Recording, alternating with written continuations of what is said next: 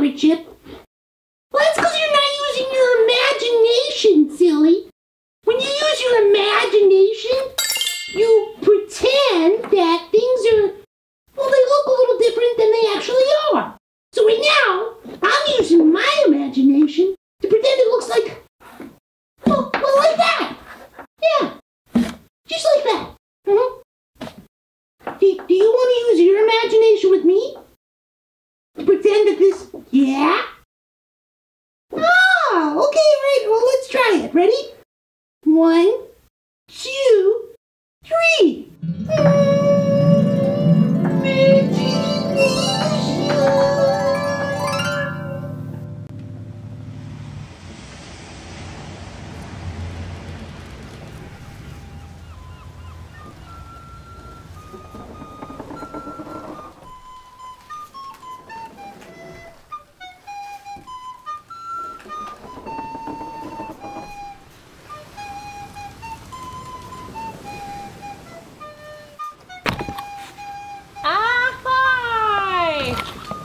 Look lively, landlubber!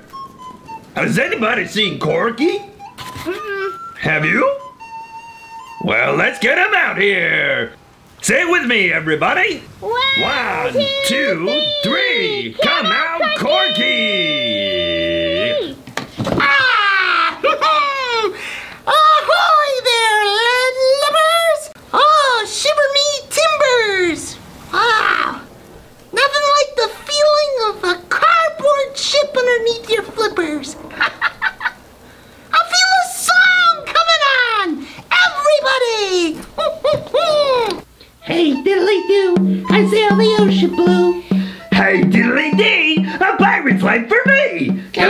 My treasure! Wherever that may be! Hey, flippity flop! We swab the poop deck with the mop! We got ourselves a motley crew. We're like a family! Hey, diddly do! I sail the ocean blue. Hey, diddly dee! A pirate's life for me! Gotta find my treasure! Wherever that may be!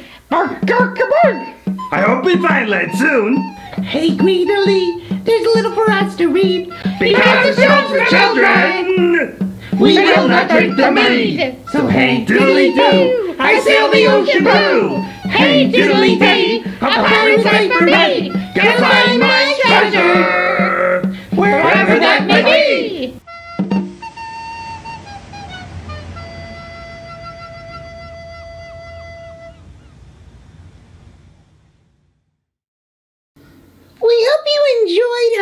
Little video. As we work on the next one, I thought it'd be a good idea to introduce you to a couple of swashbuckling, wonderful stories that you could look up on your own to fill your thirst for adventure in the meantime. so, I went on to Tumble Books and found a couple that I thought you might like, including How I Became a Pirate. Also, pirates don't change diapers. P.U. Another great story comes to us from Kanopy with a K.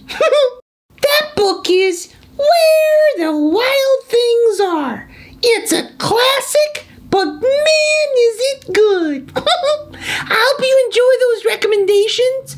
And hey, if you don't have a library card, no problem. Just go on to the library's website, library.carr.org, and we're going to hook you up.